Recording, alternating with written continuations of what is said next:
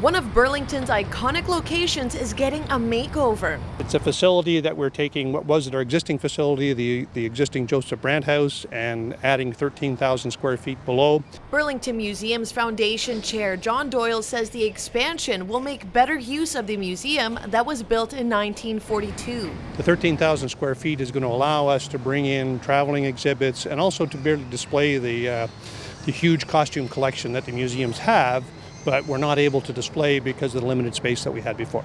Doyle says this project has been on the radar for 25 years. Now that the timing is right, the museum expansion has received nearly $9 million from all levels of government, with the foundation making up the remaining 2.5 million. Our commitment is 2.5 million.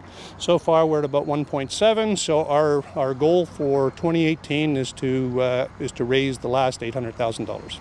The construction going on behind me is actually very elaborate and it involves moving the replica of Joseph Brant's home around multiple times throughout the area to make room for the new gallery. One of the key challenges was we have to take the Joseph Brant house, which is, uh, is a historical, well, it's a historical figure, a historical uh, uh, landmark in Burlington and move it off its existing site, which has been done. And in fact, they've had to move it two or three times to accommodate the uh, uh, construction, the various phases of construction. And then within the next two months, they'll have to move it back on top of uh, the new facility and reposition it. So I think for the project team, that's probably the biggest challenge is just maintaining the integrity of that building, positioning it back on its proper place so it'll sit on top of the new building and, and overlook the lake uh, as the, the Brant House is intended to be. Residents don't have long to wait to see the expansion come to life.